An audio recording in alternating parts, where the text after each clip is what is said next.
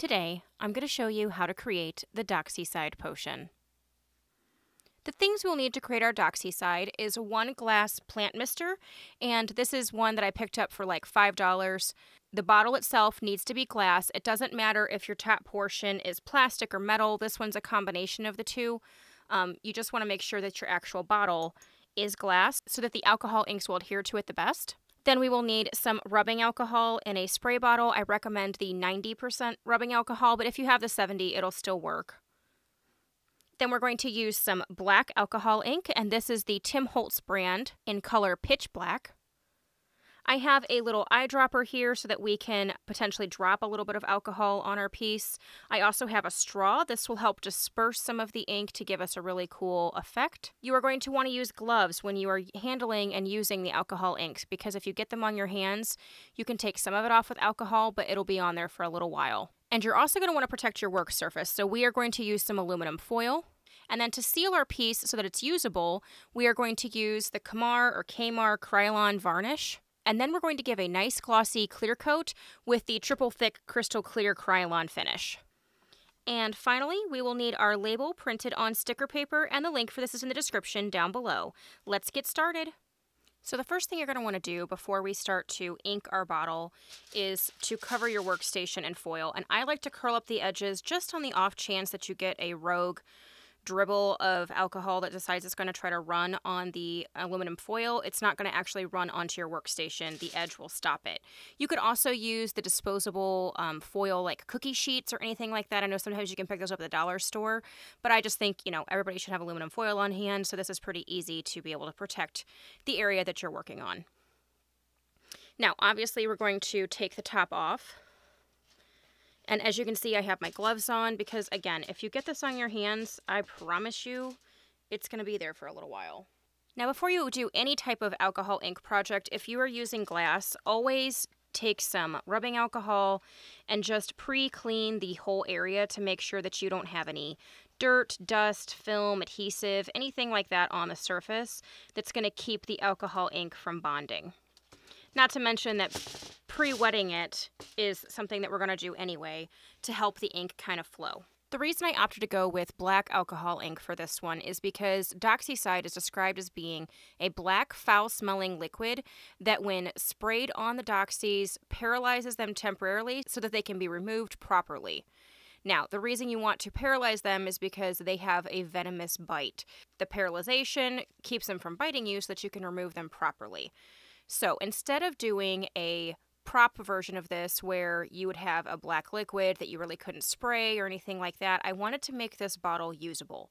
And I wanted you to be able to fill it with water. You could use it on your plants, you could spray it on your curtains as a cosplay, whatever it may be, you can do it because it's just going to be water. So that's why I wanted to give the outside of our bottle the look of a black liquid that's still transparent without actually having a black colored liquid on the inside. That's why we are going with the alcohol ink because it's going to give us an amazing texture and look with the alcohol inks, and it's also going to be transparent so that you can still see through it. So the next thing we're going to do before we put the ink on is we are going to spritz our bottle because that's going to act as a catalyst to allow the ink to move a little more freely and get a better design. So we're just going to start with our ink and we're just going to start to do drops randomly placed around the bottle.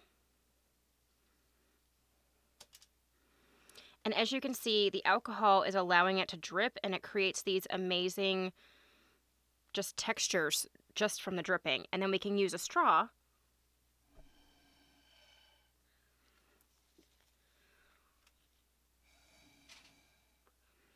to help move some of that liquid around the bottle.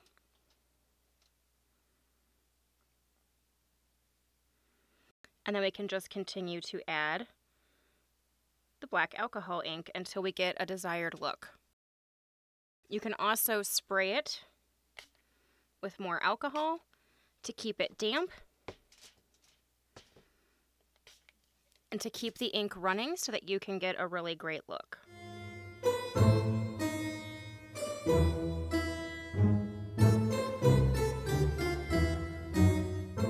Let that coat dry and we'll come back and add some more.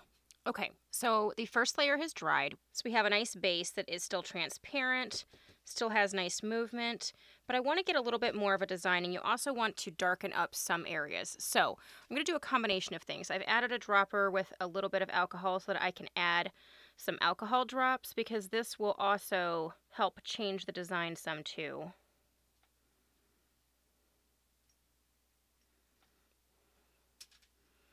And then I can continue to place my black alcohol ink to just continue to get whatever design we want.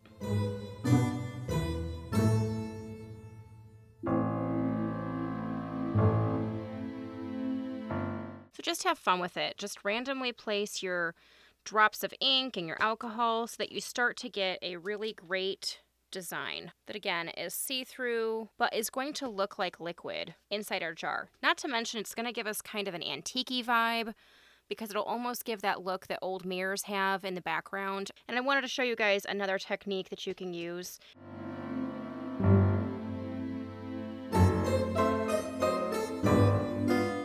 Okay, and I think I like where we're at with this, so I'm going to let this dry. They actually recommend that you let it dry 24 hours before you seal it, just to make sure that the ink is completely dry. Um, and then at that point, it becomes non flammable because at this point, it does have alcohol in it, so obviously it is going to be flammable. But when you let it dry overnight, the alcohol all evaporates and makes it so that it is safe. Then at that point, we're going to go ahead and seal it, and then we will be able to use it. So I will be back with you guys tomorrow. Let's let this dry overnight. Okay, so it has been 24 hours later, and I thought I would bust out the white background so that you guys can truly appreciate the texture and color that we got with the alcohol ink. So at this point, we're going to take this out to my garage or any well-ventilated area that you can spray. You never want to spray indoors. Um, with my garage, I'm able to vent it with the garage door. But if you're able to do it outside, that's even better but we're going to seal it first with the Kamar varnish, and then we're going to allow that to dry for 15 minutes, and we're going to do a second coat of it. Um, once the two coats are applied, you're supposed to let it dry for two hours, and then at that point, we will then apply the triple thick crystal clear glaze, which once you spray that on there, you need to let that dry for 24 hours before you touch it because you don't want to get a bunch of fingerprints on it. Light, even coats are the key to a good finish.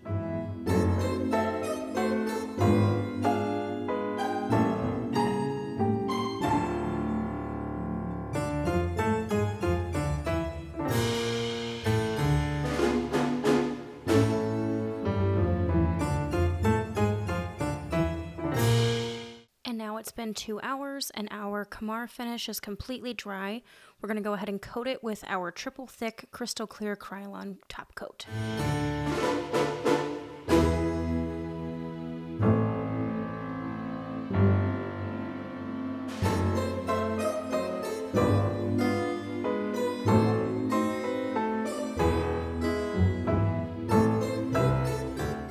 It has been a full 24 hours since we sprayed our triple thick Krylon clear coat over top of the Kamar spray. And as you can tell, we got a really great finish that is now water resistant. The alcohol ink isn't going to come off or fade.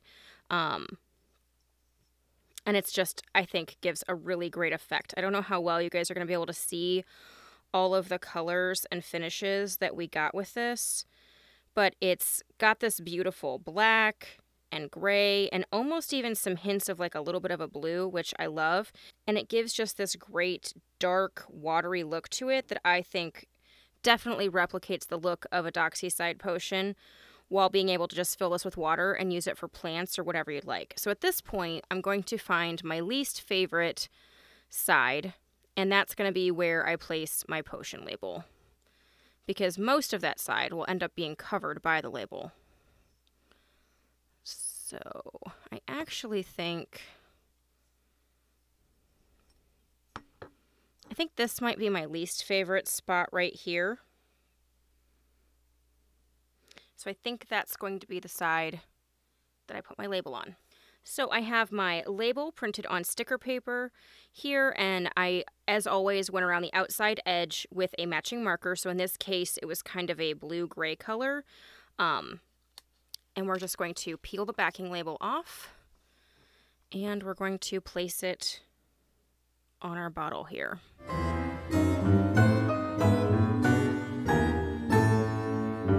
And yeah, I think that looks pretty good. So at this point, I'm going to rub it down.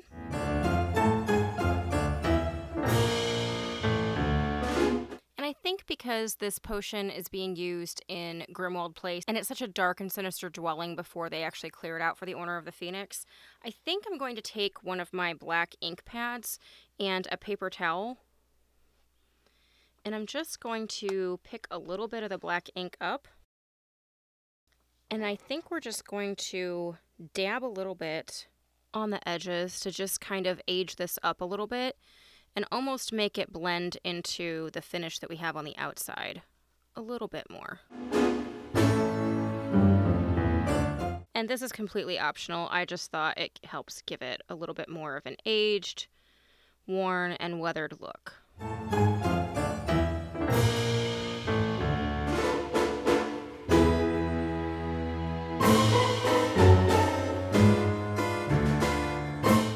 Okay, and I think that just kind of adds a little bit of an aged look to it that I really like so that the label doesn't look so crisp and clean.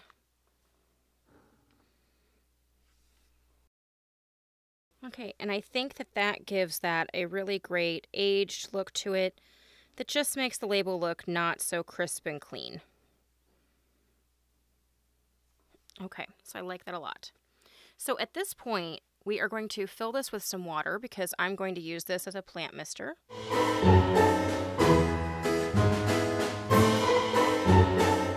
And we're going to screw our topper back on. Okay, and there you go. We have our top screwed on. Get this really great dark liquidy look without actually having any dark liquid in there at all. It's all just the outside finish. And I love that this is completely usable. So you could use this on plants, you could use this as a cosplay prop, anything like that. And there you have it, our Doxycide, which induces temporary paralysis, allowing for the safe removal of doxies without fear of being bitten. This will be a great addition to our potion and prop collection we've been making along the way. So if you guys like this video, give me the thumbs up. If you haven't subscribed, please do so, and we will catch you guys later. Thanks so much.